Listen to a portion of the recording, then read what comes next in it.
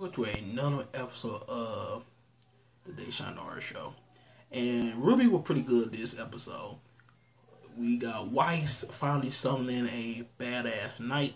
She just like her sister uh, Winter. And the little brother is a sn- snobby, hating ass, little ass bitch, I guess. Because he, he is literally act like a bitch. Like, like seriously.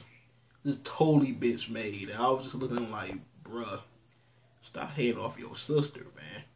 Oh, it's just barbaric. I don't, I don't think, you know, I, I want to do something like that because barbaric. I wouldn't want to fight. That what we got the army for. Ain't nothing y'all can do that the army could not do. Oh, look at my nails. Oh, my nails. But anyway, it just seemed like that. He's just a bitch made dude. I don't like him. And then we got, well, we got, uh, I forgot her goddamn name for a, a split second. But damn, I still forgot her damn Yang. There we go.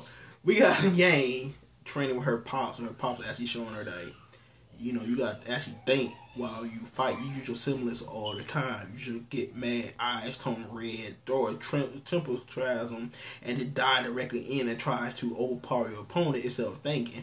Like if she was to fight Adam, if she actually thought about it, she probably wouldn't have lost her arm to begin with. So she got to fight with a more cooler head and actually try to do other thing to get around the obstacle that is for, that is in front of her. So it makes sense that she got to stop being the way she is, or things won't never change. What's make perfect you know perfect sense that she actually needed that actual talk to grow as a person and become a better fighter. And this damn lightning, this like a glare. I don't know why, but it's a glare. I keep getting split in half by the glare.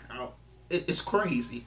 But anyway, um, Blake and Sun find this one girl that just recording them or taking a picture of what they doing. And see, like Blake actually knew this girl, but she fatally wounded Sun a little bit. So look like Sun is fucked up. I'm quite sure he's gonna be okay once he gets to the hospital. And we all know in the other damn part of this why Ren don't want to go towards that village because that's his old village and he know there's nothing there. Like Qrow is kicking the door of death, but I'm quite sure he gonna survive.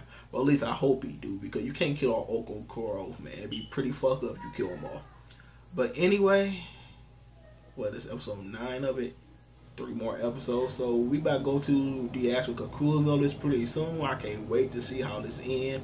you know, this haven't been the best season of RWBY. I won't admit it, cause you know, less action, more story development. Ain't ain't nothing matter with it. Just come on. I want to see somebody get fucked up. But anyway, tell you guys, thank. Make sure to rate, comment, and subscribe. And I'm out of here. Peace.